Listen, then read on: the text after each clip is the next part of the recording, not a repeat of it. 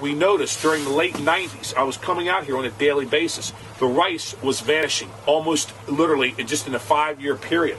And one of the interesting things was Canada geese. The we realized that something was happening, but the geese were going up. But I thought I never see the geese really grazing on this rice and I didn't think that that was necessarily the issue. Andy was out here also doing some projects here with, with something similar with fencing and exclosures to looking at long-term changes in vegetation.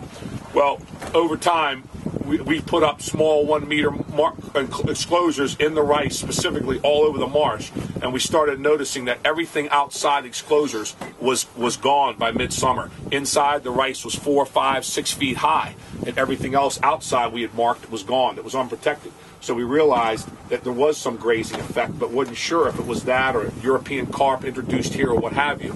But after a while, after the test after test, I stayed out here evenings, observed hundreds of geese return to this marsh after sunset and no one normally would be here. And they were coming in from all the surrounding fields, and they would feed all evening, night, and moonlit nights, and during the early morning hours, and they were devastating the rice. So we began to get grant money from NOAA, and we got enough money to put up these fencing, and we put at the peak four miles of fencing of that 50 feet at a time of the vinyl coated four foot high wire, and that excluded the geese as much as possible. You you had to, we had to figure out the maximum size we could do that would keep the geese from flying over the fence. They don't like to fly in; they like to swim in from the edge. And if you create a barrier, it really is good at deterring their grazing effect because they eat their way from the edge back in. And as they trim it down early in growth stages in, in April, May, and early June, the plants are low enough to keep getting further and further access into the interior